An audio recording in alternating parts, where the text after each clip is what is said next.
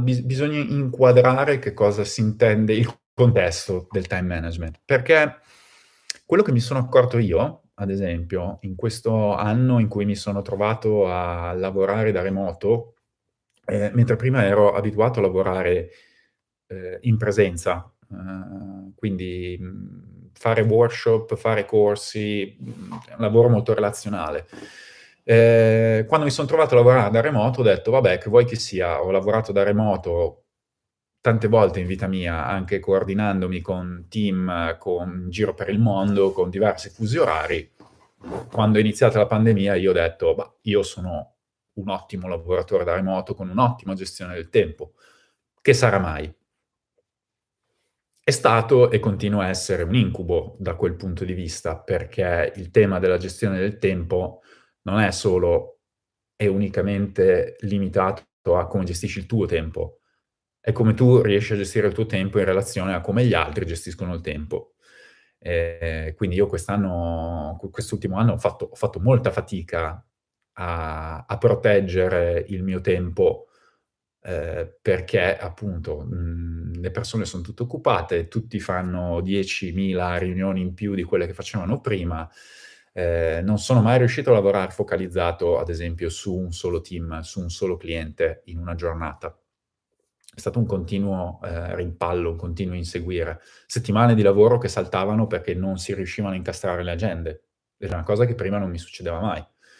E quindi ho iniziato un po' un po' a rivedere allora, prima di tutto bagno di umiltà mio, ehm, nel dire: "Okay, forse n sono non sono così bravo a lavorare da remoto,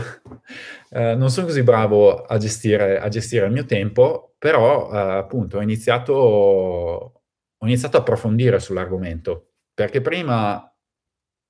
come dire, ero io che controllavo il tempo degli altri, perché quando vai in un'azienda, vieni incaricato di fare un workshop o di facilitare un team, sei tu che metti l'agenda e loro ti seguono. E fin lì era era tutto facile. Nel momento in cui ci siamo trovati a lavorare da remoto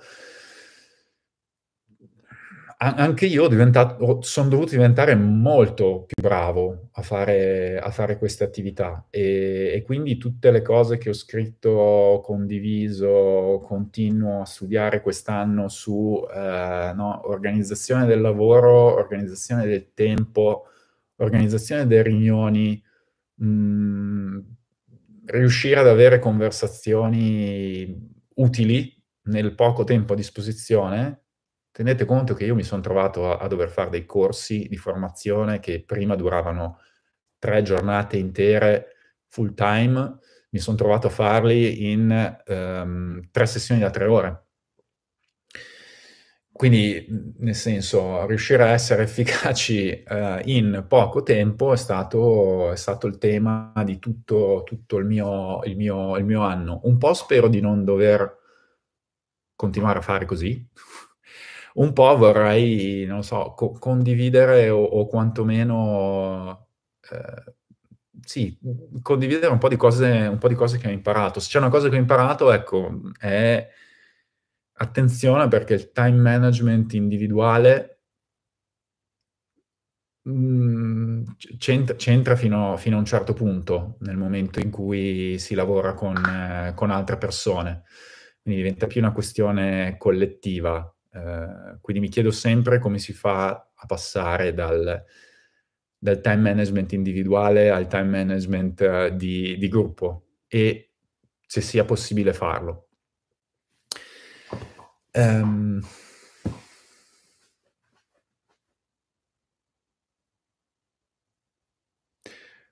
Ah, Michele dice: "Eh, eh, mi son trovato a dover ehm, schedulare le chiamate al mio team e gente varia per mantenere relazioni. Tipicamente questo tempo pausa pranzo o dopo il lavoro, mentre corro." Sì, sì, sì.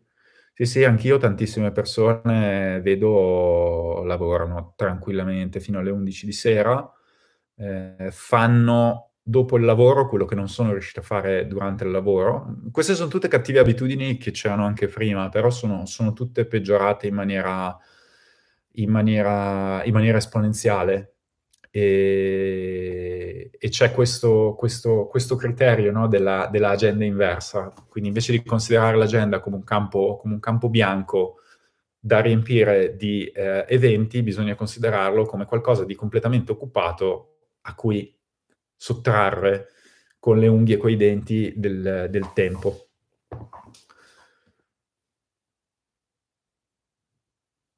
L'unica cosa che sto riuscendo a preservare sono due mezz'ore a settimana col mio team in cui non si parla di lavoro. A- anche, questo, anche, questo, è importante. Io con, con, i miei colleghi sono stato quello che qualche mese fa ha buttato lì il, il, il caffè virtuale. Quindi abbiamo messo lì due, due quarti d'ora alla settimana, alle due di pomeriggio, eh, con una riunione sempre aperta praticamente a tutti su Zoom, in cui appunto ci si trova per un caffè, non si parla di lavoro, perché, perché altrimenti di nuovo non si, fa, non si fa, altro che parlare, che parlare di questo, e soprattutto per chi come me comunque già da prima non era abituato ad avere un ufficio, perché io sono quattro anni che comunque lavoro per un'azienda che non ha un ufficio. Quindi i rapporti con i miei colleghi diretti sono, sono quasi sempre mh, virtuali, però almeno prima della pandemia ogni tanto ci si vedeva assieme dal cliente. Ora non c'è più nemmeno quello. Quindi i miei clienti, sono, i, miei, i miei colleghi sono persone e se non lavoriamo assieme su un cliente, ognuno lavora sul proprio cliente e boh, anche il senso di, il senso di, di, di appartenenza svanisce, svanisce, completamente, che credo sia anche il motivo per cui le, le riunioni si sono moltiplicate. Io sono sinceramente convinto che tante riunioni, soprattutto nella prima parte della pandemia, adesso non so se la cosa si stia un po' assestando, però tante riunioni venivano fatte, secondo me, dalle persone semplicemente per vedersi e chiacchierare. Eh, ho visto tante riunioni in cui la domanda mm, che mi sarebbe venuta da dire è scusate, ma oggi perché ci siamo incontrati? E non l'ho, non l'ho mai fatta perché mi sono reso conto che le persone, soprattutto all'inizio, soprattutto quelle che non erano abituate, non sono mai state abituate, magari 15-20 anni di lavoro, non, non, avevano mai lavorato da remoto, avevano bisogno di, di vedersi. Per, per, noi altri c'è bisogno, per noi altri, tra virgolette, non so, non so che target eh, sia, però per chi comunque ha un, un, lavoro e un'attitudine tale per cui c'è un minimo di possibilità di organizzare il proprio tempo, c'è anche un po' la responsabilità magari di organizzare il tempo degli altri e di, e di, e di bloccarlo e di metterlo in, in salvo. Quindi appunto l'idea di dire a un team, ok, sapete cosa c'è? Queste due ore alla settimana non parlate di lavoro, oppure queste due ore alla settimana le usate per studiare. Eh, bisogna essere, come dire, proattivi nel blindare dei, dei momenti che sono, che sono, intoccabili. Alcune persone lo fanno, mettono le, le riunioni fantasma, ad esempio.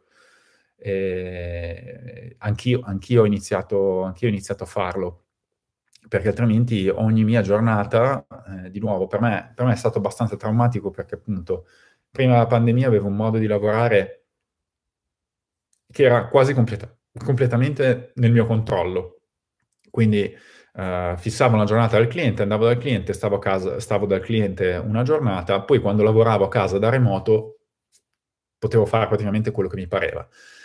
E sono stato, sono stato con, con, questo passaggio al lavoro da remoto forzato, sono stato, sono stato, buttato in questo ambito in cui non avevo più controllo della mia agenda. Eh, volavano invitation a destra o a sinistra, ogni giorno mi svegliavo e mi sveglio tuttora e non so come andrà la mia giornata, vedi oggi che pensavo fosse una giornata tranquilla, in realtà poi sono successe cose e, e ho, ho scazzato, ho scazzato anche lo streaming e, e, e sono ancora nel, nel, nel processo, nella, nella, nella, fase in cui cercare di capire qual è il bilanciamento tra la mia gestione del tempo e quindi, boh, sì, nel senso la gestione del tempo personale, secondo me ci sono alcuni principi, ma in particolare la gestione del tempo degli altri. Sembra abbastanza riduttivo al giorno d'oggi parlare di time management individuale, nel senso la, la Pomodoro Technique bella, ma non puoi fare Pomodoro Technique per tutta la giornata. A se hai un minimino di responsabilità e non sei uno che lavora appunto esclusivamente per te stesso, dovrai sempre relazionarti per dovrai sempre relazionarti con qualcun altro e quindi dalla la tua gestione del tempo deve essere per forza bilanciata con la gestione o la mancanza di gestione del tempo del degli altri. Um, ci ci ci penso, ci penso, perché, mhmm, è una zona di è un po' una zona di confine, perché ho chiaro quali sono i principi del time management individuale, ho chiaro quali sono i principi del time management alcuni principi di time management per i team di gruppo, però c'è un'area grigia. C'è un'area grigia tra il il time management individuale e quello di gruppo in tutte le situazioni che magari non sono particolarmente strutturate,